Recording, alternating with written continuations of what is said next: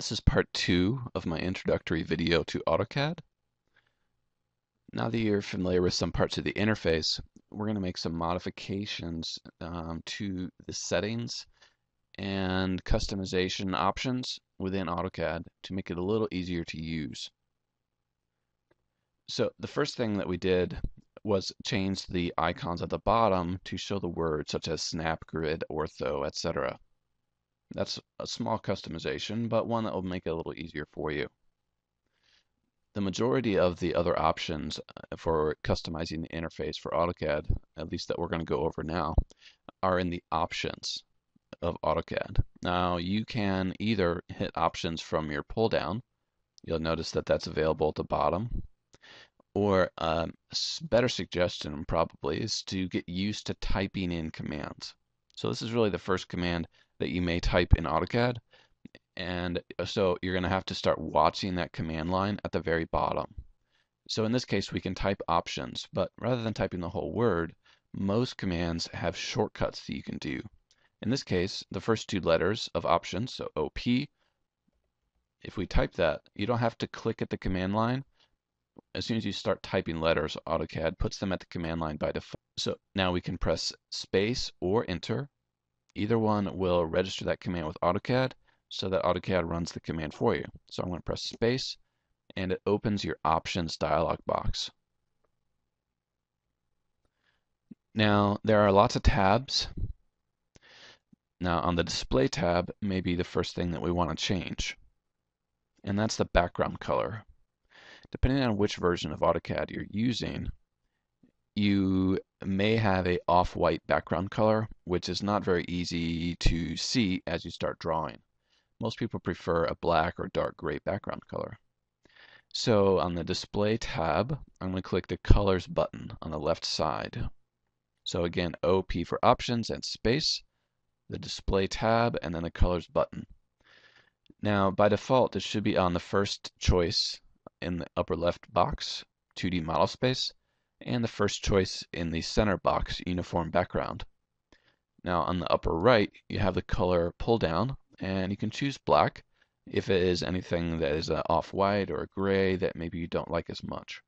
Most people prefer it to be black because it's easy to see, get a lot of contrast with the colored lines that you'll be drawing with.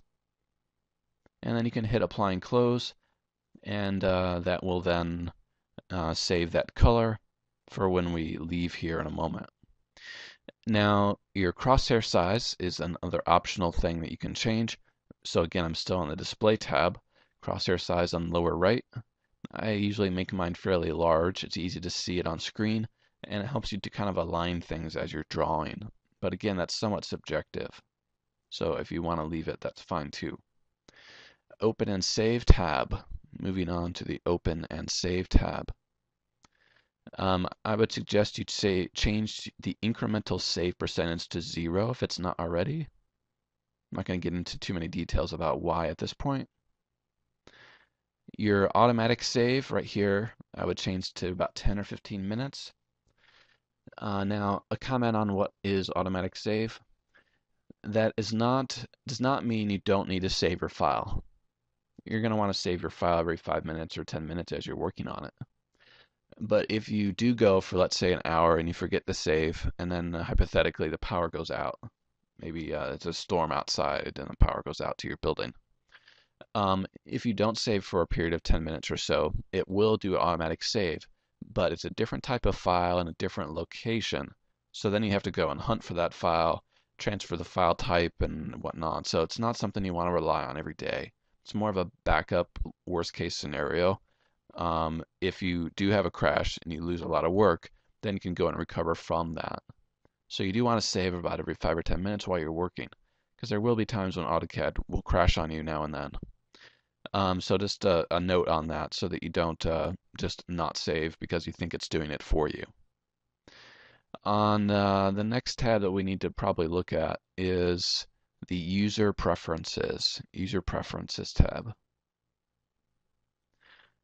Uh, first on the lower right, click on line weight settings and change that after you click on the button, change it to inches and then apply and close one time and that'll save that setting for when you get to line weights later. On the upper left corner, you'll see uh, two check boxes should be checked. If they're not checked, go ahead and check those. Double click editing and shortcut menus in drawing area. Once we check those two, you'll have the option to click on right click customization, which you generally want to change. Now, again, this is a little subjective, but I'm going to suggest that you change it to the way that most people work in most companies. You'll see there's three groups here, default mode, edit mode, and command mode, kind of categorized. So in default mode, we want it to be on repeat last command. For edit mode, we want to be on shortcut menu. And for command mode, we want it to be on enter. Now what this means exactly is going to be become clearer as you get into AutoCAD a little bit farther. But basically you're controlling what the right mouse button does on your mouse. It's a very powerful tool uh, to make your uh, process speed up a little as you get to drafting. So hit apply and close once. Uh, the only other thing I'd probably suggest that you change now is on the selection tab on the left side you'll see a uh, group here for selection preview, and I usually suggest you uncheck the box for when no command is active. Uncheck that box. So you can leave checked when a command is active, but uncheck when no command is active. Basically, when you have a lot of objects in your drawing and you're moving your mouse back and forth, the selection preview is somewhat distracting, um, and I think it's easier to uncheck that but leave it checked when there is a command active. I think that's easiest for most new users. And that's about it for here. So you can press OK on the options.